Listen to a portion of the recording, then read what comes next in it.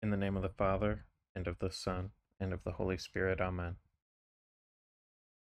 Exodus 25.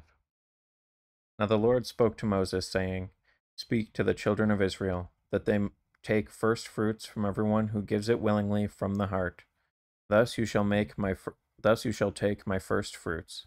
This is the offering you shall take from them: gold, silver, and bronze, blue, purple, and scarlet cloth, fine spun linen, the and female goat's hair, ram skins dyed red, and skins dyed blue, and incorruptible wood, oil for the light, and incense for anointing oil, and for the composition of incense, sardius stones, and stones for the carved work of the breastplate and the full length robe. Also, you shall make me a sanctuary, and I will appear among you. According to all I show you, that is, the pattern of the tabernacle, and the pattern of all its furnishings, so you shall make it. Thus you shall make the ark of testimony from incorruptible wood. Two and a half cubits shall be its length, a cubit and a half its width, and a cubit and a half its weight height. You shall overlay it with pure gold. Inside and out you shall overlay it, and shall make it on a wreath of gold all around. You shall cast four golden rings for it, and put them on its four corners, two rings on one side, and two rings on the other side. You shall make poles of incorruptible wood, and overlay them with gold. You shall put the poles into the rings on the sides of the ark, and the ark may be carried by them. The poles shall remain fixed in the rings of the ark. Then you shall put into the ark the testimonies I will give you. You shall also make a mercy seat of pure gold.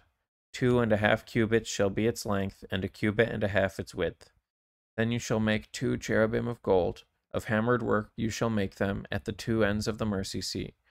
Make one cherub at one end, and the other cherub at the other end. And you shall make the cherubim at the two ends of it of one piece with the mercy seat.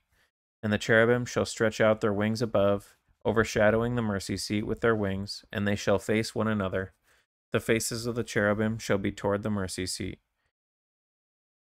You shall put the mercy seat on top of the ark, and in the ark you shall put the testimonies I will give you. There I will make myself known to you, and I will speak with you from above the mercy seat, from between the two cherubim which are on the ark of testimony, about everything I will give you in commandment to the children of Israel. You shall also make a golden table of pure gold. Two cubits shall be its length, a cubit its width, and a cubit and a half its height. You shall make for it golden wreaths twisted all around, and also a crown of a handbreadth all around and you shall make a twisted wreath of gold for the crown all around. You shall make four golden rings for it, and put the rings on the four corners of its four legs under the crown. The rings shall be bearings for the poles, so they may bear the table with them. And you shall make the poles of incorruptible wood, and overlay them with pure gold, that the table may be carried with them. You shall make its dishes, censers, bowls, and cups of pure gold, that you may offer drink offerings with them and you shall set the bread on the table before me continually. You shall also make a lampstand of pure gold, which shall be of hammered work. Its shaft, branches, and bowls, and its stem and corolla shall be of one piece. Six branches shall come out of its sides, three branches of the lampstand out of one side, and three branches out of the other. Three bowls shall be made like almonds on each branch, with its ornamental knobs and lilies and so for the six branches that come out of the lampstand. On the lampstand itself, four bowls shall be made like almonds, and each with its ornamental knob and lilies. There shall be a knob under the first two branches of the same, a knob under the second two branches of the same, and a knob under the third two branches of the same, according to the six branches that extend from the lampstand. Their knobs and their branches shall be of one piece. All of it shall be one hammered piece of pure gold.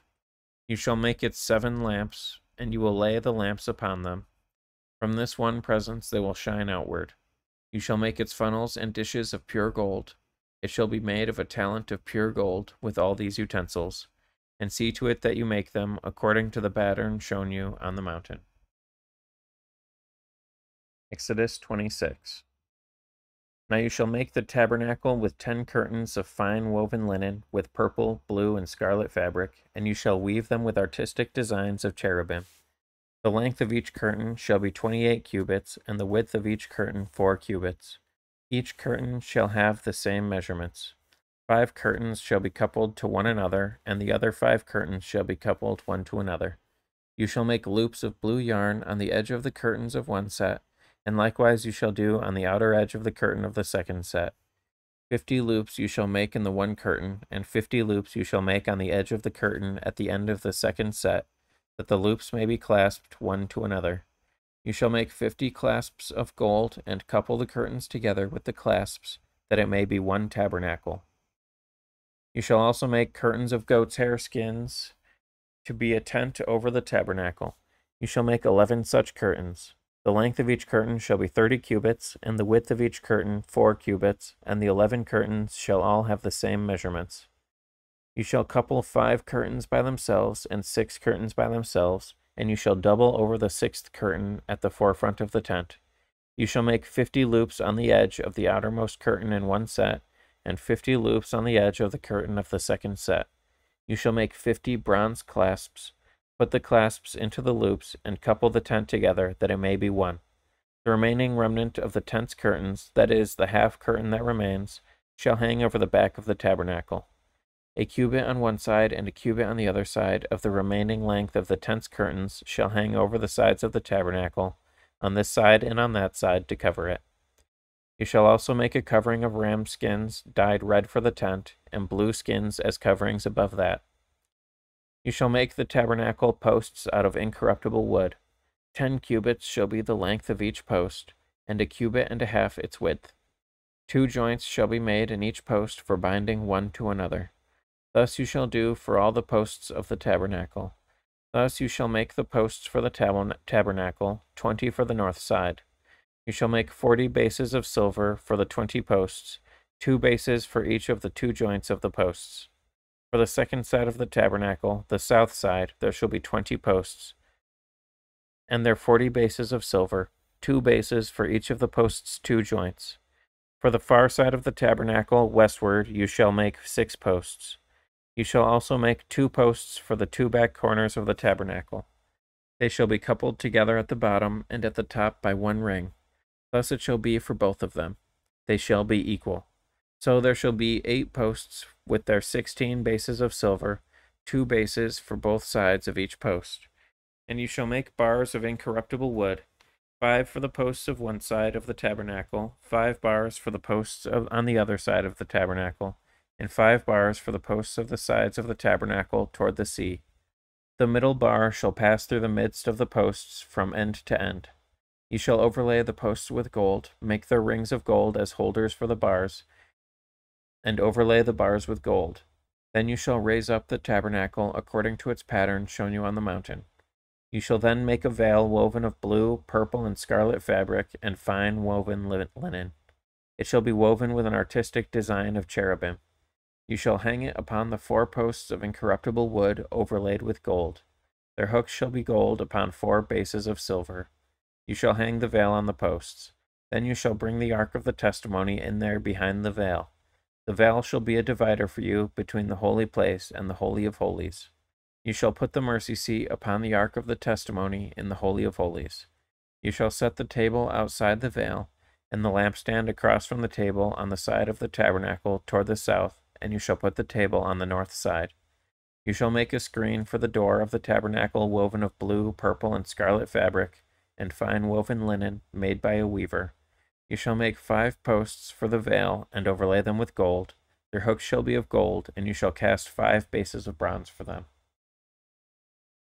Exodus 27 Now you shall make an altar of incorruptible wood, five cubits long and five cubits wide. The altar shall be square, and its height shall be three cubits.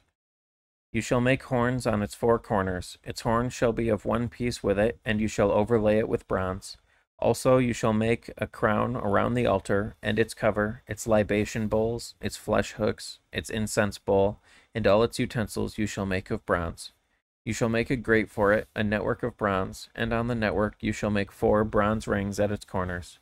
You shall put them below under the grate of the altar, that the grate may be midway up the altar. You shall make poles for the altar of incorruptible wood, and overlay them with bronze. The poles shall be put in the rings, and the poles shall be on the two sides of the altar to carry it. You shall make it hollow with boards, as it was shown you on the mountain, so shall you make it. You shall also make a court for the tabernacle. For the west side there shall be hangings for the court made of fine woven linen, one hundred cubits along for one side. And its twenty posts and their twenty bases shall be bronze. The hooks of the posts and their bands shall be silver. Likewise, along the east side shall be curtains one hundred cubits in length, with its twenty posts and their twenty bases of bronze, and the hooks of the posts and their bands of silver. And along the width of the court on the north side shall be curtains of fifty cubits, with their ten posts and ten bases. The width of the court on the south side shall be curtains of fifty cubits, with their ten posts and ten bases. The length of the curtains on one side shall be fifty cubits, with their three posts and three bases. On the other side shall be curtains of fifteen cubits, with their three posts and three bases. For the gate of the court there shall be a veil twenty cubits long, woven of blue, purple, and scarlet fabric, and fine woven linen, made by a weaver. It shall have four posts and four bases. All the posts around the court shall be overlaid with silver, their hooks shall be of silver, and their bases of bronze. The length of the court shall be one hundred cubits on each side, and the width fifty on each side, and the height five cubits, made of the fine woven linen, and its bases of bronze. All the utensils, all the instruments, and all the pegs of the court shall be of bronze. You shall also command the children of Israel to bring you pure oil of pressed olives for the light, to cause the lamp to burn continually in the tabernacle of testimony, outside the veil before the testimony. Aaron and his sons shall tend it from evening until morning before the Lord. It shall be an ordinance forever to their generations on behalf of the children of Israel. Psalm 28 A psalm by David, the final day of the Feast of Tabernacles. Bring to the Lord, O you sons of God, bring to the Lord the sons of rams. Bring to the Lord glory and honor. Bring to the Lord the glory due his name. Worship the Lord in his holy court. The voice of the Lord is upon the waters. The God of glory thundered. The Lord is upon the many waters. The voice of the Lord is strong. The voice of the Lord is full of majesty. The voice of the Lord shatters cedars, and the Lord shall grind to powder the cedars of Lebanon. And he shall grind them fine like the young bull, and like Lebanon. But his beloved shall be like a son of unicorns. The voice of the Lord cuts through fiery flames, and the voice of the Lord shakes the desert. And the Lord will shake the desert of Kadesh. The voice of the Lord causes deer to calve, and uncovers the thickets. And in his temple everyone speaks of his glory. The Lord shall dwell in the deluge, and the Lord shall sit as king forever. The Lord will give strength to his people. The Lord will bless his people with peace. Proverbs 5 20 23. Do not be intimate with a strange woman, neither cling to the embrace of a woman not your own. For the ways of men are before the eyes of God, and he keeps close watch on all his paths. Lawless women ensnare a man, but each man is bound by the chains of his own sins. Such a man dies with the uninstructed, and is cast forth from the abundance of his own substance, and he is destroyed by lack of discernment. Matthew 18 1 20. At that time the disciples came to Jesus, saying, Who then is greatest in the kingdom of heaven? Then Jesus called a little child to him, set him in the midst of them, and said, Assuredly I say to you, Unless you are co- converted and become as little children, you will by no means enter the kingdom of heaven. Therefore, whoever humbles himself as this little child is the greatest in the kingdom of heaven. Whoever receives one little child like this in my name receives me. But whoever causes one of these little ones who believe in me to sin, it would be better for him if a millstone were hung around his neck and he were drowned in the depth of the sea. Woe to the world because of offenses! For offenses must come, but woe to that man by whom the offense comes. If your hand or foot causes you to sin, cut it off and cast it from you. It is better for you to enter into life lame or maimed, rather than having two hands or two feet to be cast into the everlasting fire. And if your eye causes you to sin, pluck it out and cast it from you. It is better for you to enter into life with one eye, rather than having two eyes to be cast into hellfire. Take heed that you do not despise one of these little ones, for I say to you that in heaven their angels always see the face of my Father who is in heaven. For the Son of Man has come to save that which was lost.